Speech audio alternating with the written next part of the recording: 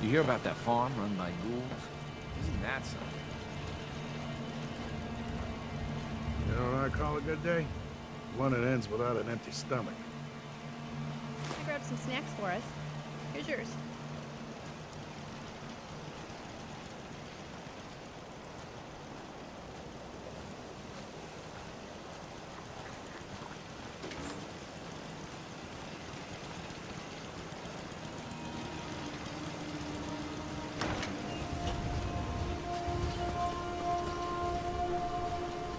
Remember the last time I had clean fingernails.